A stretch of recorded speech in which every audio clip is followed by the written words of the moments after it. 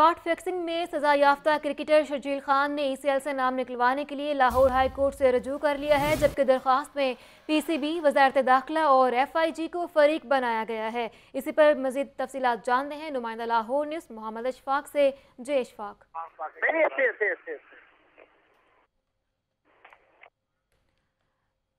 اسی پر بات کرتے ہیں نمائندہ لاہور نیوز محمد اشفاق سے۔ محمد اشفاق، مزید اپڈیٹ کیجیے گا۔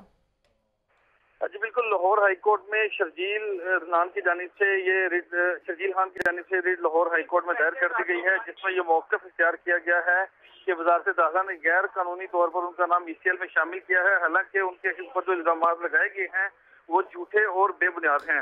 درخواست میں یہ بھی کہا گیا ہے کہ عدالت جو درخواست گزار ہے، یہ بین الاقوامی کرکٹر ہے اور ان کا نام ای سی ایل میں نہیں ڈالا جا سکتا۔